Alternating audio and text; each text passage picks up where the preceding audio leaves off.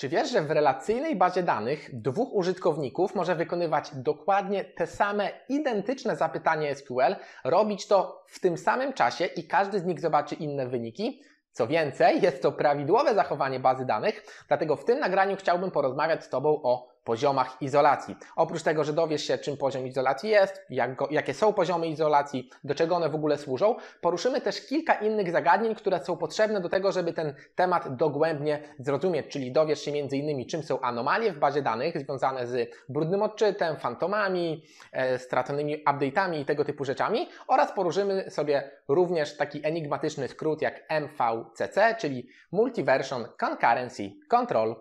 Puk, puk, Dzień dobry, z tej strony Darek Budkiewicz, witam Cię na kanale Nieinformatyk, gdzie dzielę się z Tobą wiedzą i umiejętnościami, które pozwolą Ci zbudować karierę programisty baz danych. Inicjatorem, pomysłodawcą tego odcinka jest Dominik Gracz. Bardzo dziękuję Ci za propozycję. Jeśli Ty masz swój pomysł na to, jaki materiał chciałbyś na tym kanale zobaczyć, to komentarz pod tym filmem jest idealnym miejscem. Żeby w ogóle rozmawiać o poziomach izolacji, musimy najpierw wiedzieć, czym jest w bazie danych transakcja. I na Twoje i moje szczęście ja już taki materiał nagrałem, dlatego nie będę się powtarzał. Pod tym nagraniem znajdziesz link do nagrania, gdzie tłumaczę, czym jest transakcja, czym jest model ACID, po co w ogóle transakcje w bazie danych są potrzebne. Więc jeśli jest to dla Ciebie część taka nie, nieznany obszar bazy danych, albo chciałbyś to sobie odświeżyć, to najpierw obejrzy tamten materiał, a, a potem wróć do tego, bo dzięki temu po prostu w tym nagraniu będę mógł się skupić na nowych rzeczach. Idea cała pracy z poziomami izolacji jest spowodowana tym, że w bazie danych jednocześnie wiele osób korzysta z tej bazy danych. Gdyby sytuacja była taka prosta, że jedna osoba korzysta z bazy danych, no to w ogóle transakcji, tych poziomów izolacji, czym będziemy się dzisiaj zajmować, nie musielibyśmy tych zagadnień poruszać. W rzeczywistości wielu użytkowników jednocześnie pracuje z bazą danych i co więcej, oni bardzo często chcą uzyskać dostęp do tych samych danych. Na przykład jedna osoba chce jakąś informację czytać, a druga ją modyfikować. I tu się sprawa trochę komplikuje. I żeby dobrze zrozumieć, czym są poziomy izolacji, musimy najpierw sobie wyjaśnić, czym jest model współ kontroli współbieżnego dostępu do danych. To trochę tak dziwnie brzmi. Po angielsku jest to Multiversion Concurrency Control, a w praktyce oznacza to to, że jeśli czytamy dane, to jeśli baza zaimplementuje taki model współbieżnego dostępu, to będzie wyświetlać w tym samym czasie dla tego samego zapytania różne wersje danych i to jest co więcej oczekiwane zachowanie bazy danych. Żeby to zrozumieć, zapraszam Cię do ekranu mojego komputera, gdzie opowiem Ci o tym więcej Zacznijmy więc od wyjaśnienia sobie, jak działa ten mechanizm kontroli współbieżności, czyli po prostu Multiversion Concurrency Control po angielsku. W całym tym slajdzie chciałbym Ci pokazać, co się wydarzy, jeśli dwie osoby będą chciały wykonać tego samego selecta. Tu zobacz, jest schemat HR. Celowo napisałem, żeby nie było jakiejś niejasności, że jeden użytkownik czyta, czyta ma tą samą tabelę w swoim schemacie, a drugi w drugim. Jeśli pierwsza transakcja będzie wykonywała selecta, to w dużym uproszczeniu, tak? Baza danych działa w ten sposób, że oprogramowanie bazy danych otrzymując takiego selecta uda się do pliku z danymi, czyli do tak zwanego data file'a, żeby te dane pobrać. Tu jest pewne uproszczenie, bo zazwyczaj te, znaczy zazwyczaj, zawsze te dane z plików trafiają do pamięci, która jest szybsza od tego dysku i użytkownik operuje na danych, które są w pamięci, ale z punktu naszego widzenia to nie jest kluczowe, więc jak napiszemy sobie takiego selecta, Czyli będziemy chcieli sprawdzić pensję pracownika ID 100, no to pobierzemy z pliku informację, on zarabia 4800. Jak teraz jeden użytkownik zacznie update'ować tą informację, to rozpocznie się transakcja, tak? No bo to jest operacja DML, więc rozpoczyna się transakcja i do pliku zapiszemy informację, że teraz pensja pracownika ID 100 to jest 5400, w związku z czym jak napiszemy takiego selecta, no to nie zobaczymy 4800, 5400. Nie ma żadnej filozofii. Ale ponieważ ten użytkownik rozpoczął transakcję, to drugi użytkownik w tym momencie, jak napisze swojego selecta, to też oczywiście baza danych zachowa się tak samo i uda się do pliku z danymi, żeby pobrać informację. No i baza danych pobierze wartość tą 5400, z tym jednak zastrzeżeniem, że będzie wiedziała, ok, ta informacja te dane zostały zmienione w aktywnej transakcji, czyli takiej, która jeszcze nie została zatwierdzona komitem lub wycofana rollbackiem. W związku z czym, ponieważ baza danych ceni sobie współbieżność, czyli taką możliwość, żeby wielu użytkowników jednocześnie mogło pracować z bazą danych, nawet na tych samych danych, to większość relacyjnych baz danych zaimplementowała taki mechanizm kontroli współbieżności, który polega na tym, że każda dana, która nie jest jeszcze zatwierdzona w bazie danych, czyli jest aktywna transakcja, która może zostać wycofana, to w pomocniczym pliku takim undo file baza danych zapisuje operację odwrotną od tej, którą użytkownik wykonał. Czyli jak użytkownik zapisał sobie, zmienił pensję z 4800 na 5400, no to baza danych przecież musi gdzieś zapisać informację, na wypadek, gdyby użytkownik napisał rollback, no bo skąd baza danych by miała wiedzieć, że poprzednia wartość to była 4800, więc oprócz tej aktualnej wartości z tej transakcji, baza jeszcze przechowuje, dopóki transakcja nie jest zatwierdzona, poprzednią wartość, tak? Jakbyśmy robili inserta, to można, możemy sobie wyobrazić, że to by był delete tego nowego rekordu. Jakby ktoś robił delete, to byłaby tu kopia tych usuniętych danych na wypadek rollbacka. W związku z czym, jak druga transakcja będzie czytała dane, to baza danych po pobraniu ich zda sobie sprawę, OK, te dane pochodzą, są częścią aktywnej transakcji. Muszę użyć danych undo do wycofania tych niezatwierdzonych jeszcze zmian, w związku z czym użytkownik, pisząc te same zapytanie, zobaczy wartość 4800. Ten zobaczył 5400. No i to jest ta sytuacja, o której mówiłem na samym początku, że w tym samym czasie dwóch różnych użytkowników może wykonać te same zapytanie i widzieć różne wyniki.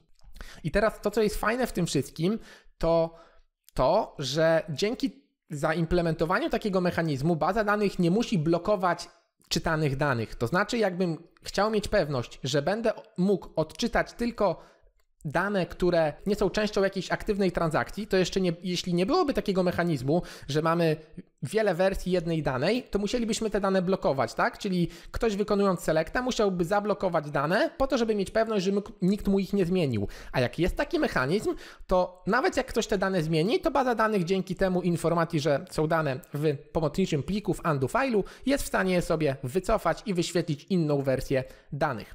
I dlaczego o tym rozmawiamy, skoro odcinek miał być po, poświęcony poziomom izolacji? Ponieważ baza danych implementuje te poziomy izolacji, o których będziemy sobie za chwilę mówić więcej, za pomocą właśnie tego mechanizmu kontroli współbieżności oraz za pomocą blokad. I ten mechanizm kontroli współbieżności jest właśnie bardzo fajny z tego powodu, że pozwala nam w niektórych sytuacjach zrezygnować z blokowania rekordów, a rezygnacja z blokowania rekordów sprawia, że więcej osób może jednocześnie pracować z tymi samymi informacjami w bazie danych. Teraz zapraszam do SQL Developera, gdzie ten przykład pokażę Ci w praktyce. Zaloguję się na użytkownika HR. O, tu hasło mi zaraz wygaśnie, nie zwracaj proszę Cię na to uwagi. I zaloguję się na przykład na użytkownika System. Grunt, żebyśmy byli w tym samym kontenerze, jeśli baza, nasza baza danych ma kontenery. I to, co chciałbym Ci pokazać, to fakt, że będę wykonywał zmianę w tym schemacie, w schemacie HR. Czyli aktualnie pracownik o ID 105, zarabia 4800 zł. I zobacz, że jeśli ja zmodyfikuję wynagrodzenie tego pracownika na 5000, no to oczywiście zobaczę wartość 5000, ale ponieważ jest to transakcja jeszcze nie zatwierdzona, to inne sesje, tak jak na przykład sesja użytkownika system, będzie widziała wartość 4800, a nie 5000. Myślę, że jest duża szansa, że to dla Ciebie nic odkrywczego, ale chciałem Ci to pokazać, ponieważ za chwilę przejdziemy do bardziej skomplikowanych przykładów. Przejdźmy teraz do poziomów izolacji. Standard ANSI określa cztery poziomy izolacji. ANSI to organizacja międzynarodowa, która określa, jak SQL powinien wyglądać i tam określa wymagania związane czy to ze składnią SQL-a, czy to właśnie z poziomami izolacji. I teraz wypisałem tu Tobie Myślę cztery najpopularniejsze relacyjne silniki bazowe, jak Oracle, Postgres, SQL Server i MySQL, gdzie chciałem Ci pokazać, jakie poziomy izolacji w każdej z tych baz danych istnieje. Krzyżyk to, że takiego poziomu izolacji nie ma, czyli na przykład Oracle nie jest w 100% zgodny ze standardem ANSI, podobnie Postgres. Natomiast gwiazdeczka oznacza domyślny poziom izolacji, czyli taki Oracle ma w swojej bazie trzy poziomy izolacji: read committed i serializable.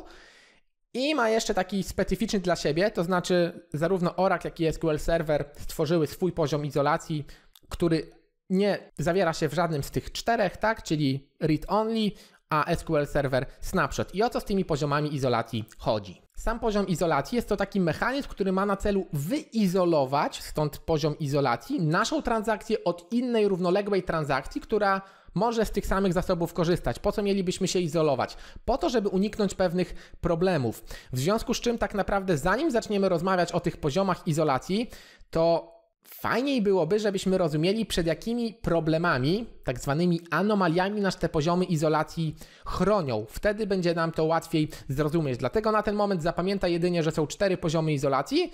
Każdy system sobie tam implementuje wedle uznania te, które chce. I jak widać, większość z nich ten read committed uznało jako swój domyślny. W przypadku MySQL jest trochę inaczej, bo to jest bardziej restrykcyjny tryb. Więc przejdźmy teraz do porozmawiania o anomaliach, a do tych poziomów izolacji jeszcze wrócimy na sam koniec, bo to się nam wszystko fajnie, uwierz mi, ułoży w głowie. Poziomy izolacji, jak mówiłem, tak naprawdę mają nas chronić, znaczy izolować naszą transakcję od innej, po to, żeby uniemożliwić, by w naszych transakcjach wystąpiła któraś z anomalii. I znowu, standard ANSI definiuje trzy anomalie: brudny odczyt, niepowtarzalny i fantom. Jest jeszcze taka anomalia jak stracony update, który nie jest częścią standardu ANSI, ale jakby nie robi nam to większej różnicy, czy to jest część standardu, czy nie. Warto wiedzieć i o tym też Ci dzisiaj powiem, jak, ten, jak ta anomalia działa. I tak na przykład taki tryb izolacji pierwszy, read uncommitted, oznacza czytaj niezatwierdzone dane. Jest to w moim odczuciu w ogóle niepotrzebny poziom izolacji, bo on sprawia, że wszystkie te cztery anomalie występują i co więcej widzimy niezatwierdzone dane, to znaczy może mieć miejsce brudny odczyt, więc przejdźmy może do omówienia po kolei wszystkich tych anomalii, a następnie wrócimy tutaj. Jeśli chodzi o te anomalie, to jak mówię, są cztery. Brudny odczyt polega na tym, że widzimy w swojej transakcji niezatwierdzone dane z innej transakcji, które finalnie zostają wycofane, tak? Czyli ktoś wykonuje jakąś operację, ja ją widzę, później on ją wycofuje, więc widzę coś, czego de facto zobaczyć nie powinienem, bo to nigdy nie była część bazy danych. Za chwilę przejdziemy w każdej z tych anomalii do przykładów SQL-a. Niepowtarzalny odczyt to wtedy, kiedy widzimy zatwierdzone dane z innej transakcji, ale one zmieniają wartość odczytywanego przeze mnie rekordu, czyli ja wykonuję kilka razy te samo zapytanie i widzę różne dane. Phantom działa identycznie jak niepowtarzalny, a odczyt z tą jedną różnicą, że wpływa nie tyle na dane, które widzimy, na zawartość rekordów, tylko na ich liczbę, tak? Czyli widzę na przykład mniej lub więcej rekordów wykonując te same zapytanie. A stracony update nie widzimy swoich zatwierdzonych zmian, bo druga transakcja je nadpisała, czyli natychmiast po tym jak ja wykonałem swoją transakcję, zatwierdziłem, ktoś to nadpisał i teraz ja jestem trochę zdezorientowany, bo nie widzę swoich zmian. Przejdźmy do kodu SQL, to będzie nam to łatwiej zobaczyć. Brudny odczyt, po angielsku dirty read, to sytuacja, kiedy będę widział zawartość zmiany, jakąś zmianę innej transakcji, która zostanie wycofana. Czyli załóżmy, że pensja pracownika o ID 100 to 4800. Jeśli jedna transakcja zmodyfikuje tą wartość na 5000, to jeśli ja napiszę selecta i miałbym ten poziom izolacji pierwszy, najmniej restrykcyjny, czyli read uncommitted, to widziałbym tą zmianę, że ktoś zmienił wartość na 5400. Jeśli ktoś dałby rollbacka, a ja później znowu wykonał tego samego selecta, to nie zobaczyłbym już 5400, tylko 4800. I możesz się spytać, no dobra, no ale to co to za problem? Ktoś coś modyfikował, no to fajnie, że widzisz aktualną wartość. No niby tak, ale skoro ta dana została wycofana, to ona nigdy nie była częścią bazy danych. To było coś, czego nie powinienem zobaczyć, dlatego ta anomalia nazywa się brudnym odczytem. Zobaczyłem brudną daną, daną, której zobaczyć nigdy nie powinienem. Niepowtarzalny odczyt, unrepeatable read, to sytuacja już trochę inna, bo to jest sytuacja, kiedy też widzę różne dane, ale skutkowane tym, że inna transakcja równolegle coś zmodyfikowała i zatwierdziła. Czyli znowu pensja pracownika o ID 100 to 4800. Odczytuję sobie takiego selecta, patrzę 4800 spoko. Ktoś w międzyczasie robi update'a, czyli założył blokadę na ten rekord, skomitował, więc tą blokadę zwolnił i ja wykonuję ponownie selecta i widzę 5400. Czyli tu ten sam select zwrócił taką informację, a tu taką. No i o ile przy tym brudnym odczycie mógłbyś się skusić, ok, dobra, może masz rację, bo to wycofana transakcja, ale tu co to za problem? No skoro ktoś zmienił daną, to czemu jest problem i nazywamy to w ogóle anomalią, że widzę aktualniejszą daną? No ktoś coś zmienił, no to dobrze, że widzisz nową daną. No nie zupełnie, bo wyobraź sobie, że ty w swojej transakcji chciałbyś na przykład podnieść pensję temu pracownikowi, czyli napisałbyś selecta, ok, ktoś zarabia 4800, chcesz mu podnieść pensję powiedzmy o 10%, tak? Czyli de facto chciałbyś mu podnieść pensję o 4800. To mógłbyś tu zrobić selecta, a następnie tu napisać update'a. Update pracownicy, set pensja równa się 4800 razy 1.1 na przykład, tak? Czyli podnieść ją o 10%. I w sytuacji, kiedy wystąpiłaby taka sytuacja, czyli wystąpiłby niepowtarzalny odczyt, to ty byś tu podniósł pensję nie o 480 zł, tylko o 540 zł, bo select pensja równa się pensja razy 1.1, to by było tak naprawdę 110% z 5400, a nie 4800. To tylko jeden z wielu oczywiście przykładów, więc taki niepowtarzalny odczyt też bardzo często może występować, jeśli nie rozumiemy właśnie jak poziomy izolacji w bazie danych działają. Phantom to bardzo podobna sytuacja, kiedy zmienia się nie tyle zawartość odczytywanych przez nas rekordów, tyle ich ilość. Czyli jeśli chcę sprawdzić, jaki pracownik zarabia powyżej 5000 zł, no to piszę sobie selecta i na przykład zwraca mi jeden rekord. Załóżmy, że jeden pracownik zarabia więcej niż 5000. Jeśli w międzyczasie inna transakcja wykona inserta z pensją na przykład 5400, zatwierdzi ją, to ja wykonując tego samego selecta zobaczę już dwa rekordy. I ten nowy rekord jest nazywany fantomem, czyli takim duchem trochę bo pojawił się nie wiadomo skąd. I znowu powiesz, ej, no ale co to za problem? No problem jest taki, bo wyobraź sobie, że tworzysz raport, tak? Bazy danych często służą do tego, żeby raportować. I chcesz tworzyć raport na przykład z listą pracowników, i w stópce raportu chcesz napisać liczba pracowników, to na przykład tyle, ile jest ich na raporcie. No to jeśli pierwszy select by ci zwrócił jeden rekord, albo bardziej niech będzie jakiś rzeczywisty przykład 20 rekordów, no to albo masz sytuację taką, że masz w pozycji 20 i informacja, że rekordów jest 20, albo na przykład pozycji jest 21 i informacja, że tych rekordów jest 21. A w tej sytuacji miałbyś sytuację taką, że jeśli ktoś by dodał jeden rekord, to wyświetliłbyś na przykład 20 pozycji pracowników, Jan Kowalski, Jan Nowak, Kasia jakaś tam, a w stópce byś napisał liczba pracowników 21. No i to już by była niespójność, tak? Nie wiadomo by było, co jest prawidłowe. Czy zabrakło pozycji, bo prawidłowa to 21, czy te 21 powinno być 20, bo lista jest ok. Tego byś nie wiedział i tym jest właśnie Phantom. Stracony update, czyli lost update, to jest po prostu moje spolszczenie, tłumaczenie w każdym z tych czterech przypadków. To sytuacja, kiedy ktoś natychmiast nadpisze moje zmiany. Czyli ja robię sobie znowu sytuacja identyczna, pracownik zarabia 4800, robię sobie update'a na 5400 i daję komita. Tak to ja widzę. Ale między moim update'em a komitem ktoś mógł też próbować wykonać update'a. No ale ponieważ ja byłem pierwszy, ja zablokowałem dane, on tego update'a nie mógł wykonać. Jasna sprawa, ale jak ja zrobiłem komita, to ten moja blokada została zwolniona, więc natychmiast po tym moim komicie ktoś ten update oczekujący też się wykonał i zrobił komita, więc moją zmianę nadpisał.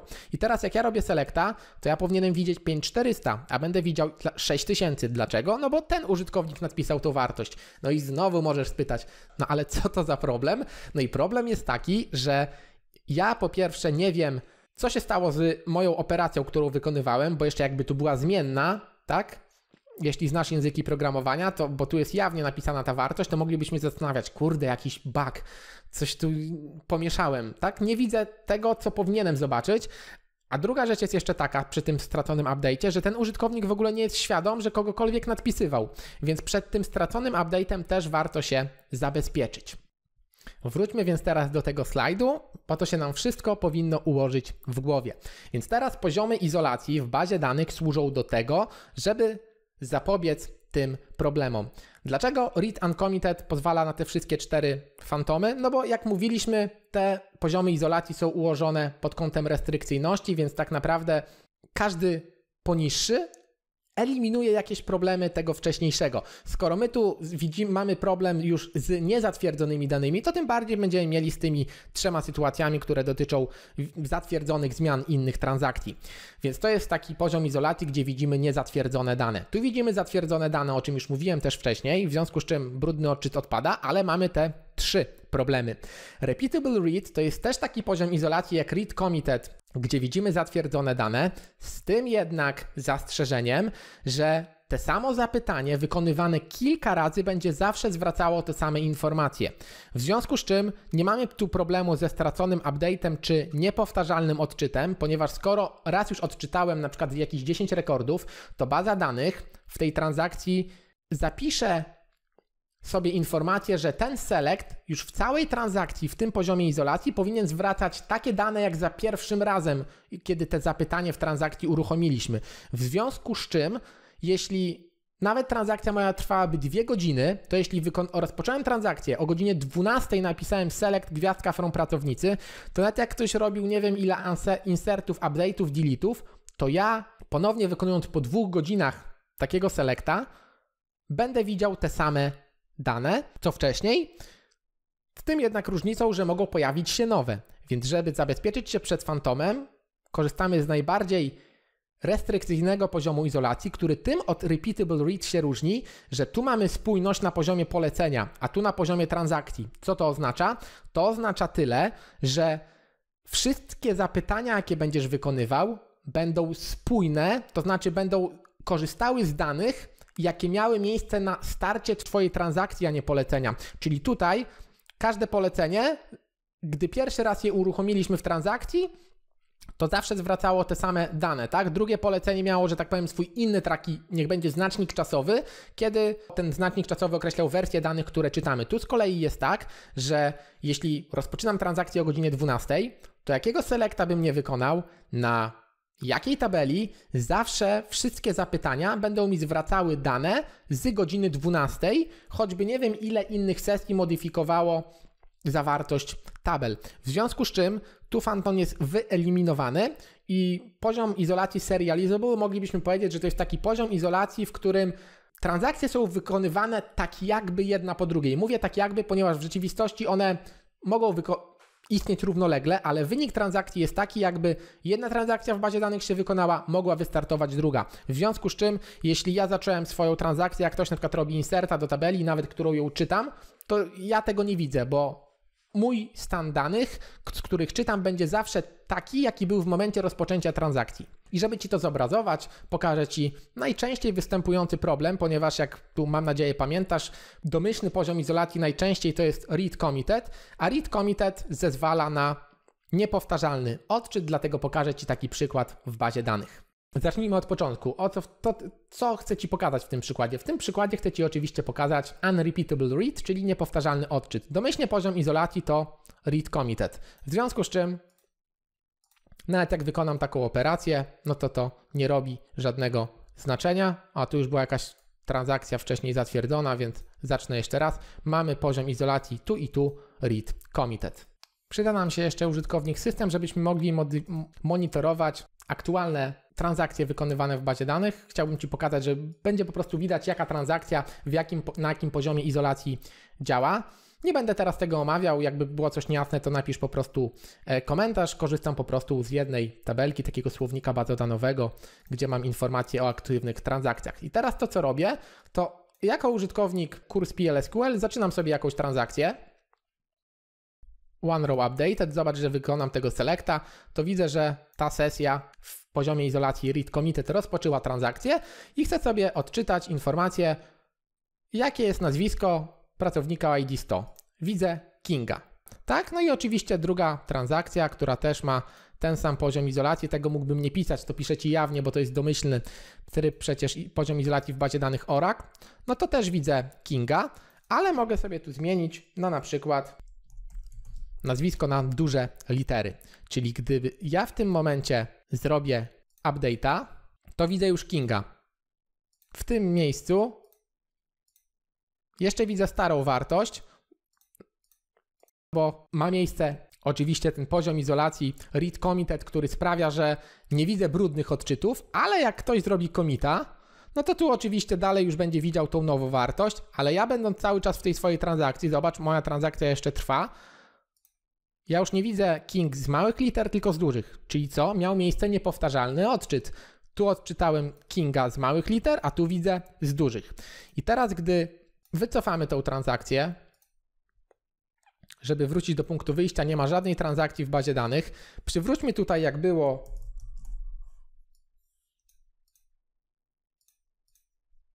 pierwotną wartość. Zobacz, co się stanie, kiedy z poziomu użytkownika kurs PLSQL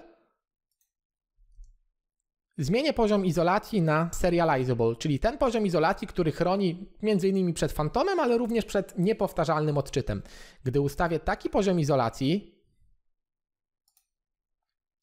tak, to jest błąd, że zmiana poziomu izolacji musi być pierwszą operacją w transakcji, więc to wcześniejszy update musiałem rollbackować, czyli rozpoczynam transakcję. Zobacz, że teraz będę miał informację, że a przepraszam, nie zacząłem jeszcze transakcji.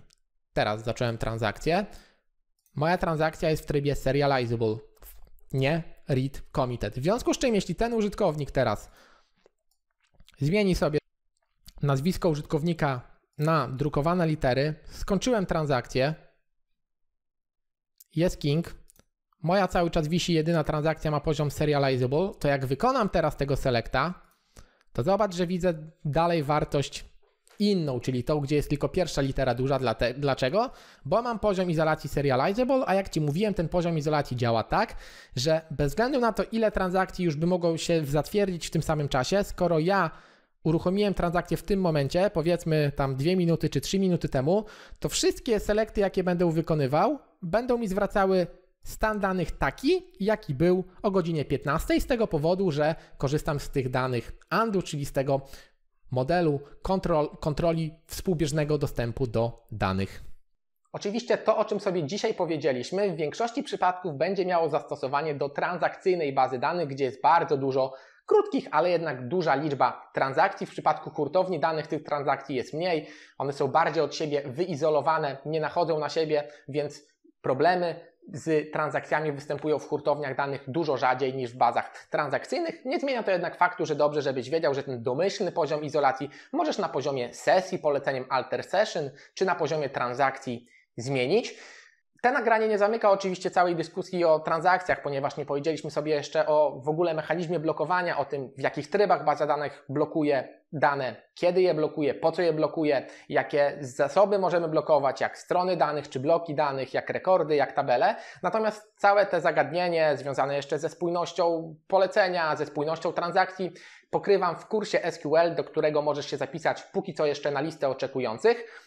Natomiast mogę Ci zadać teraz taką zagadkę, tak żeby żebyś może sobie przećwiczył, jak ten materiał, o którym dzisiaj rozmawialiśmy, mianowicie jak myślisz, co się wydarzy, jeśli w trakcie wykonywania Twojego zapytania, na przykład select gwiazdka from pracownicy, ktoś wykona instrukcję, która na przykład zmodyfikuje rekord ósmy z 10, które czytasz, tak? Czyli ty wykonujesz selecta, on trwa na przykład 20 sekund się wykonuje, niech będzie. Przeczytałeś 7 rekordów, a ktoś ósmy rekord zupdate'ował, albo zupdate'ował rekord ósmy i drugi, który już przeczytałeś. I teraz jak myślisz, jak zachowa się twój select?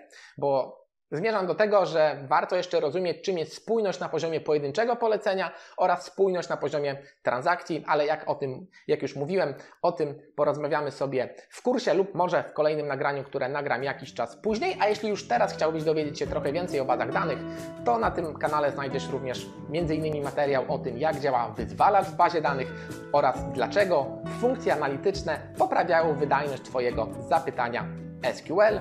Trzymaj się, cześć!